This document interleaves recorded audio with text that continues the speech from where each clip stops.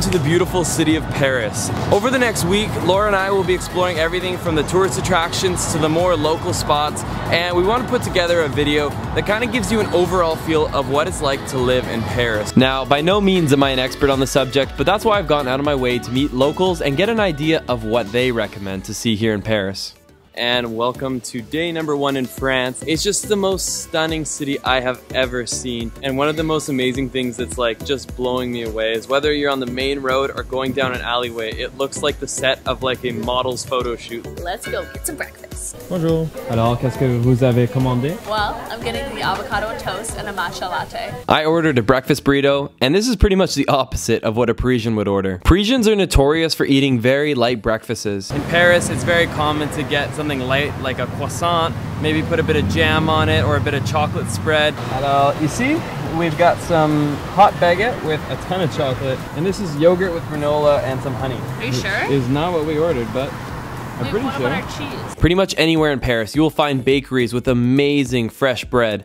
Now that we've started our day with a delicious Parisian breakfast, it's time to go wander the streets. Each of these streets have different stories to tell, and they make for incredible shopping. So as you guys know, one of the main things in Paris is the fashion and like everywhere we go we're seeing these amazing like one-off shops. I bought these super styling shoes for 45 euros. My feet have never felt so free. La liberté pour les pieds. That means freedom for the feet. It's actually been cool watching you speak French to everyone. I'm like, oh. Did you say it's a turn on? Have I, are you feeling le passion dans le cœur? The Frenchmen, we are irrésistible, irrésistible. So, you know, how I was going to do that DIY video? So you're telling me that's a designer dress? $900 US? So you pay the extra $850 to have it cut and split open? Yeah. Look at this coffee shop. It's like three seats. That's cool. After a pretty laid back morning, it was time to go do a little day trip. We headed off to what is known as Rue de Crémieux, and this is actually a road that even most locals won't know about. For Laura and I, this trip was about spending quality time together, but we also really wanted to meet new friends. And so we set out a couple Instagram stories asking French people to DM us, and we ended up meeting with these two guys right here. Welcome to the video, guys.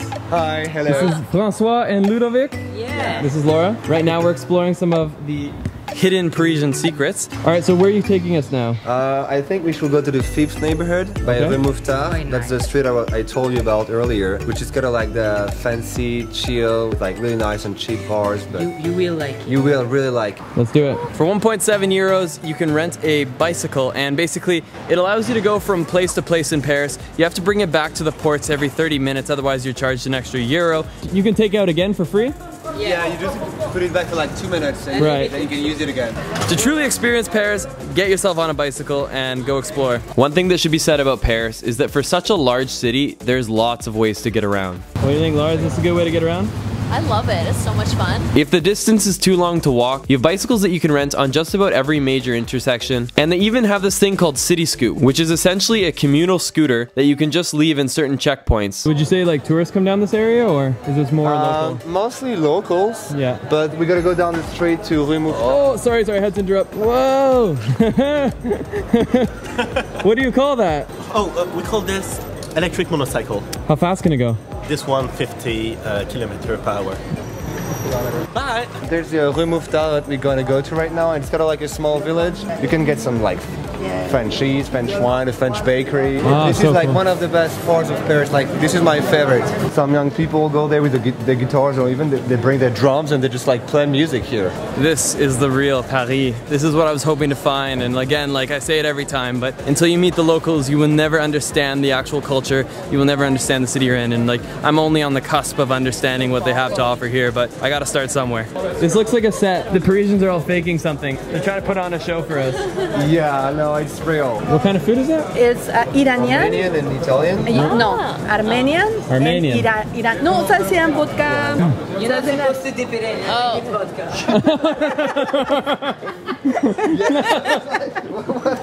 I needed it. I don't know. Ah, crepes. Do you like crepes?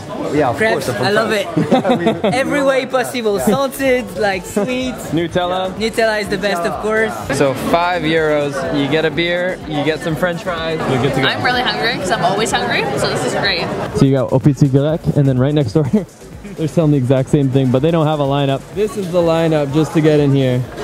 Well, we've been waiting for 45 minutes for Au Petit It's better be good. That is a monstrosity of a creation. Yes. It was worth 45 minute wait. Thank you so much for showing us around. Thank you guys. There's such a unique energy and charm to this city that I've truly never seen anywhere else in the world.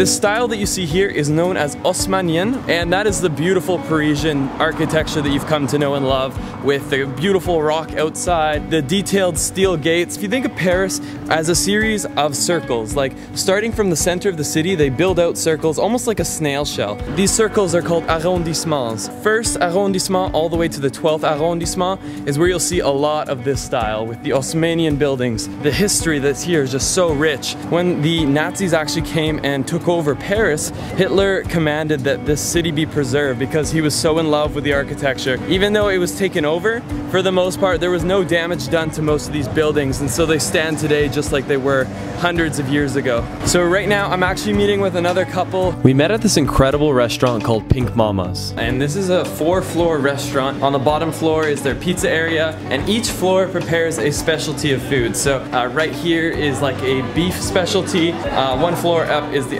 antipastis, and I think the top floor was like cocktails and vegan food. You've got like all sorts of old school paintings and maps. This is Claudia and this is Jeremy. and hello. where are we going next? We're going to the Sacré-Cœur and Yeah. to Montmartre, which is a cool neighborhood, and you're gonna like it. Yeah, it's pretty much the north of the city. Okay, cool. This is predominantly like locals who Yeah. hang out in this area? All locals there. If you go to the Sacré-Cœur, it's a little bit more touristic, but Yeah. here it's a little bit quiet. People like to hang out there, have a drink, and just chill. That's sweet. One of the amazing things I noticed about Montmartre was that after spending a lot of time in Champs-Élysées and around other tourist attractions, I finally felt like I was in the local side of Paris. As we headed up the hill a little further, that became less true. It became just as touristy as being at the Eiffel Tower. Claudia, is that something you guys do in Paris? You put parrots on your heads? Yeah, no, no, I don't think so. This is the incredible cathedral known as Sacré-Cœur. Guys, thanks for showing me around today. Laura and I walked across the street to a random French restaurant. Alors maintenant, on va commander un escargot. Do you know what that is? yeah, I don't want it. I know. Is, is English shrimp or fish? Escargot is egg. Snail. It's a snail. We're gonna get a snail. No, I'm not.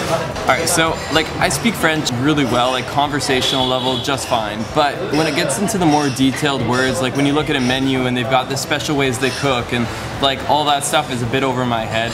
So I actually just had uh, someone come and help me order. I'm like, I want the Frenchest meal you can order. So we've gone ahead, we've ordered some specially prepared French veal. Uh, we've gotten some beef bourguignon, the escargot, so we've got some snail on its way. Not nervous, but not excited to eat it. I think that's everything. And oh yeah, and an assiette de fromage. So we've got cheese on its way too to start off.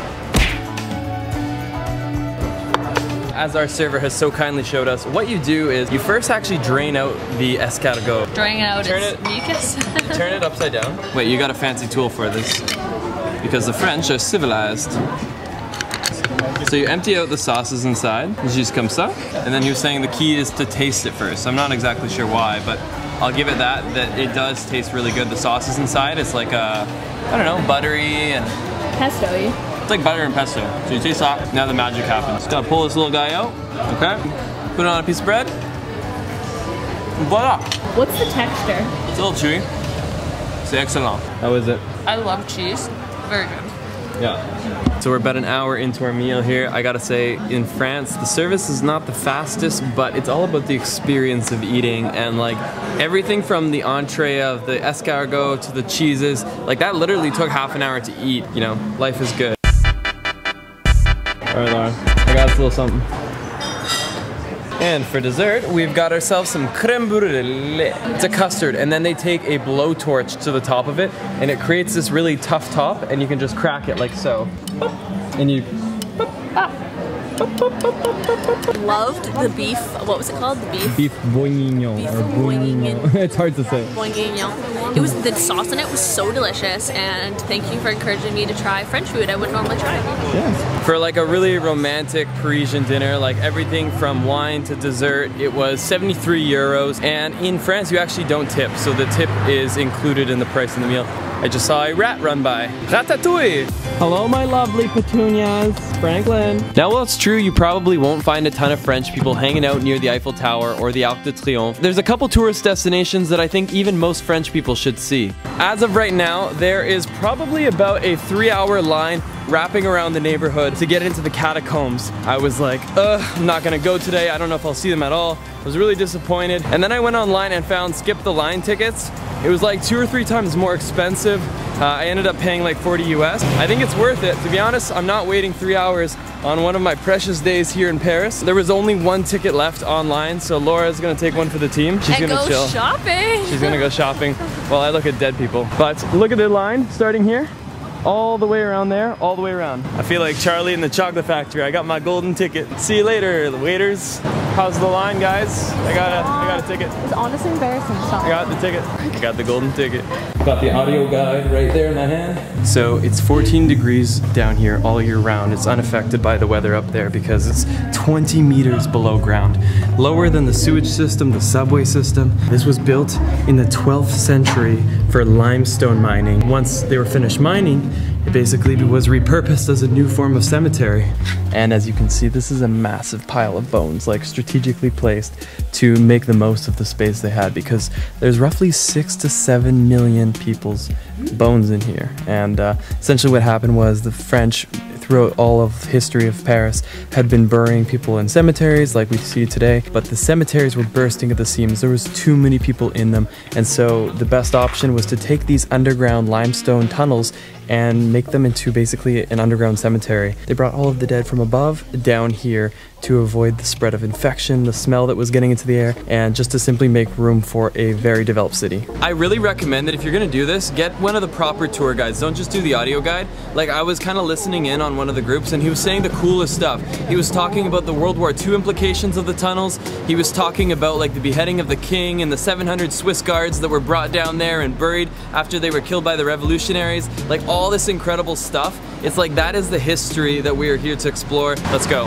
Taxi's here. It is a free-for-all on these roads. Like if you compare it to like North America, traffic is crossing into each other's lanes and scooters are zipping in between cars and kind of takes me back to Bangkok a little bit. A little more structured than that, but not by much. One of the crazy things is like how multicultural the city is too. Like you got falafels. All cultures are accounted for here. It's a melting pot of culture and amazing food. One of the cool things about the city is that literally like anywhere that has somewhat of a developed area or has a coffee shop or restaurant, it almost always has open Wi-Fi. Now there's a few that are password protected, but like if that's the case, then you ask the restaurant you're in and they give you a password. Everywhere we've been, it's just like, boom, I can now use my Uber app, go and check my Facebook. Like, and the Wi-Fi speeds have been really good here. And the place we're staying in has the fastest upload speed I think I've ever seen. Like I uploaded five gigabytes in one and a half minutes. Beat that. La météo est fou. J'ai venu ici à Paris mais pas pour ça.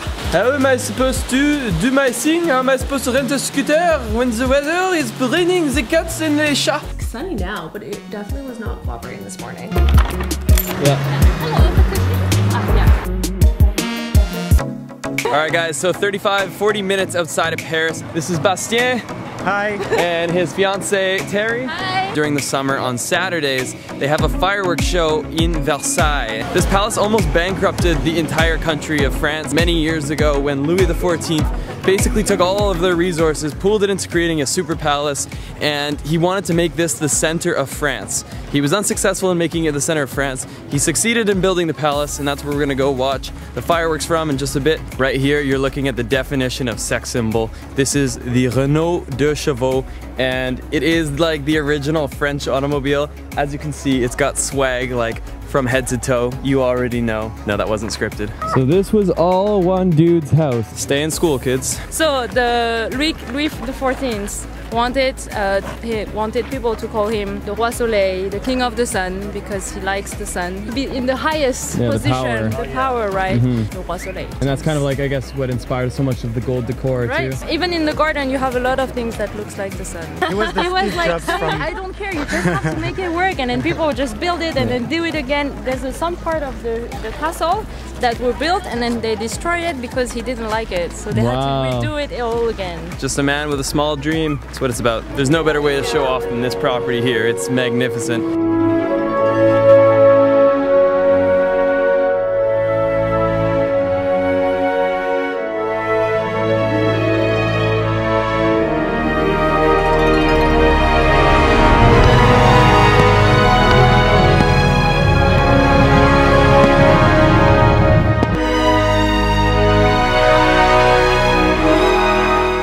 Bonjour and good morning. It is the final day here in Paris, and the last thing I wanted to conclude this video on is showing you a little bit about what it would cost to live in Paris. Now, I don't have extensive research. A lot of this I got by talking to friends who have lived here for several years, but these are the numbers I've come up with. For you to be the most budget end, staying in a very tiny, tiny room, much smaller than this, on your own, it's gonna cost you around 600 euros, and even that will not get you into the downtown area. You'll probably have about a 30 minute to 45 minute commute to get in. For a one person loft where your kitchen is in your bedroom, essentially you have one room, uh, you're looking at like 800 euros for something that's relatively comfortable and still being very, very basic, still outside of the city. About 1200 euros, you've got a two bedroom, maybe you've got a separated kitchen, and again, you're about 45 minutes outside of the city. This is not a long-term rental. This here is 105 US dollars a night, right in Champs-Élysées, like in the heart of the downtown area, one of the most expensive areas you can be in. It's even got its own separate kitchen, nice to have. Bathroom, it's one of the smallest showers I've ever used, but it works living quarters. Those are the rough prices. It's not a cheap city to live in, but I'm sure you didn't expect that when you thought of coming to Paris. If you guys like this video and you want to see more of my smiling face, then click on up here, hit that subscribe button and become part of the channel. And if you want to see a video very similar, just like this, but made in Bali, click on my how to live in Bali video right up here. And if you're coming to Paris, you want some more tips, get my five hot tips to Paris by clicking down here. Let's get lost again in the next one.